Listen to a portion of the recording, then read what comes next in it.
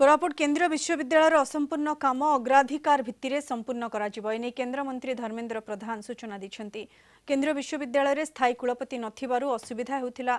ଏବେ ଜଣେ ଦକ୍ଷ ଓଡ଼ିଆ ସ୍ଥାୟୀ କୁଳପତି ଭାବେ ଯୋଗ ଦେଇଛନ୍ତି ଖାଲି ଥିବା ଅନ୍ୟ ପଦବୀଗୁଡ଼ିକ ଅଗ୍ରାଧିକାର ଭିତ୍ତିରେ ପୂରଣ କରାଯିବ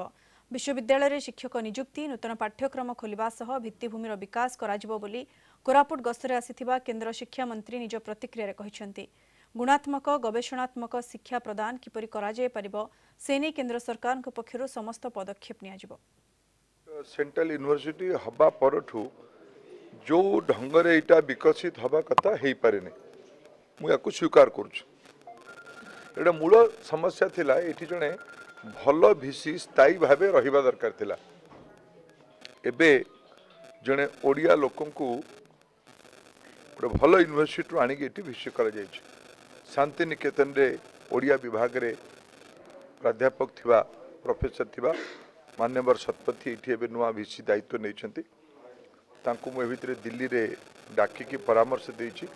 ଯେ ଲମ୍ବା ସମୟରେ ଯେଉଁ ପେଣ୍ଡିଂ କାମ ସବୁ ଅଛି ବିଶେଷ କରିକି ଶିକ୍ଷକ ନିଯୁକ୍ତି ନୂଆ କୋର୍ସ ଖୋଲିବା ତଥା ଇନଫ୍ରାଷ୍ଟ୍ରକ୍ଚର ଡେଭଲପ୍ କରିବା ଏଗୁଡ଼ିକୁ ଅଗ୍ରାଧିକାର ଭିତ୍ତିରେ ଆମ କାମ ଆରମ୍ଭ କରାଯିବ ମୁଁ ଖୁବ୍ ଶୀଘ୍ର